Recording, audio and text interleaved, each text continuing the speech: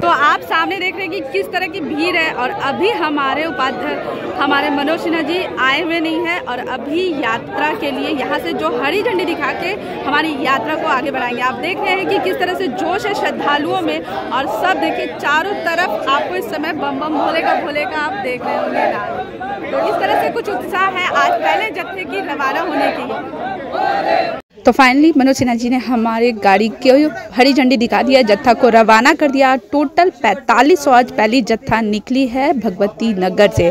तो देख रहे सामने की पहले गाड़ी निकल रही है, सामने से गाड़ी निकल रही है, उसके बाद इसके साथ पीछे से हमारी गाड़ी, यानी हमारी बसें निकलेगी।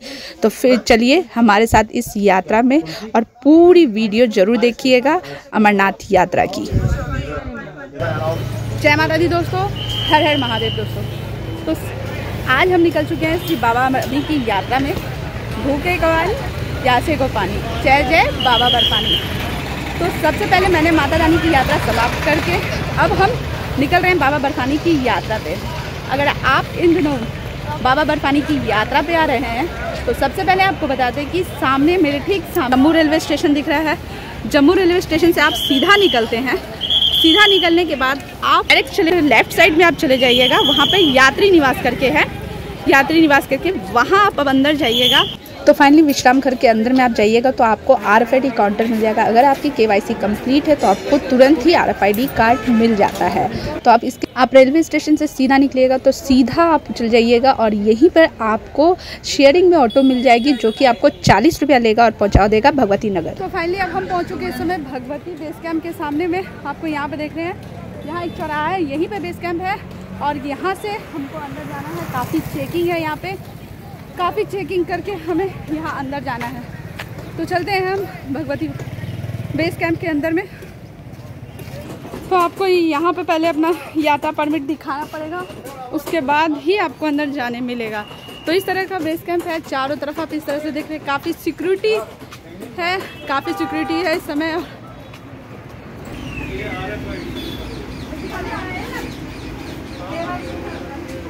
तो इस तरह से पूरी चेकिंग होती है लेडीज़ की अलग है और जेंट्स की अलग है। आप देख रहे हैं कि चार बार अभी अभी स्टार्टिंग से तीन से चार बार हमारी चेकिंग हो चुकी है।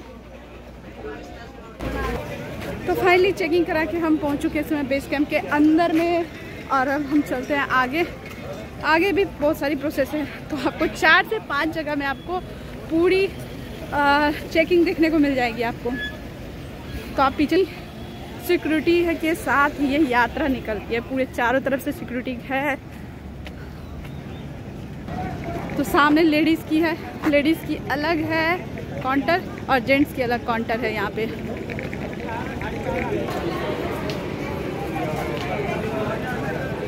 सेकंड यहाँ चेकिंग है आपको। यहाँ पे देखिए इतनी चेकिंग है।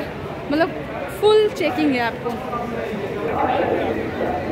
तो सबसे पहले आप चल जाइए वहाँ पे लगेज रखने के लिए, अपना रूम का करवा लीजिए, जो कि आपको पचास रुपये पड़ता है, आपको ऊपर में हॉल मिल जाती है आप सामने यहाँ पे आपको फॉर्म यहाँ पे सामने में आपको फॉर्म फिलअप करना पड़ेगा।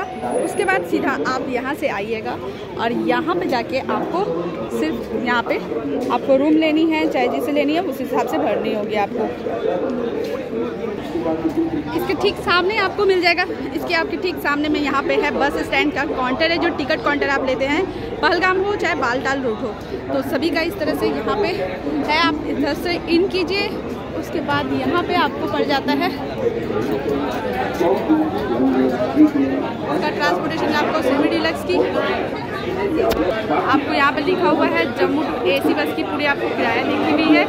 एसी बस का आपको बारह सौ सत्तर सुपर डिलक्स का इतना पड़ जाएगा सेवन डिलक्स का इतना पड़ जाएगा। और यहाँ पे इस तरह से लाइन लगी हुई है।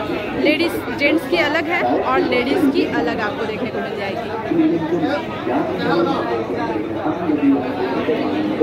तो सामने आपको दिख रहा है कि इस तरह से हॉल मिल जाएँगे और यहाँ पे करीब से करीब आपको सौ लोग रह रहे हैं।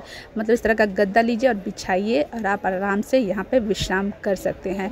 फुल्ली एसी है, लेकिन एसी काम करती नहीं है, लेकिन फुल्ली एसी बताते हैं और यहाँ पे फिर चलिए आपको हम दिखाते हैं कि अगर आप गद्दे लेना है तो इस गद्दे का आपको पड़ जाएगा सौ रुपया और गद्दे आप यहाँ ले सकते हैं, गद्दे तकिया, जो कि आपको रिफंडेबल हो जाता है।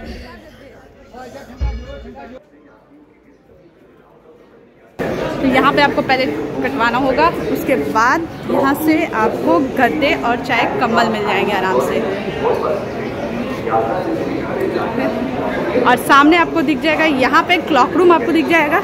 ठीक सामने में यहाँ पे क्लॉक रूम है आपको। क्लॉक रूम में आपकी जो सामान है, आप इस तरह के क्लॉक रूम मिल जाएँगे। इस तरह के नीचे आपको सिम मिल जाएँगे पोस्टपेड एयरटेल और जियो जो लेना है सिम, आप एयरटेल चाहे जियो ले सकते हैं, क्योंकि ऊपर में आपको जाके जम्मू इन करने के बाद आपकी सिम काम नहीं करेगी।